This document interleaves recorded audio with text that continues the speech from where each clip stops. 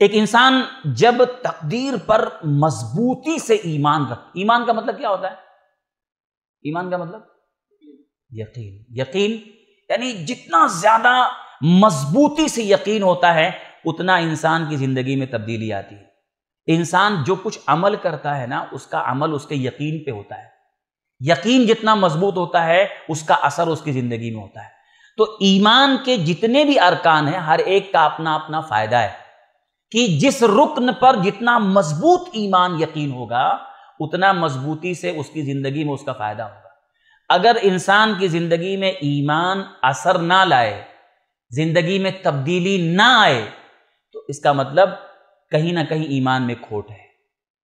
ईमान अगर ज़िंदगी ना बदले, ईमान अगर ज़िंदगी में तब्दीली ना पैदा करे तो कमी इंसान के ईमान में है, खोट है, कहीं ना कहीं।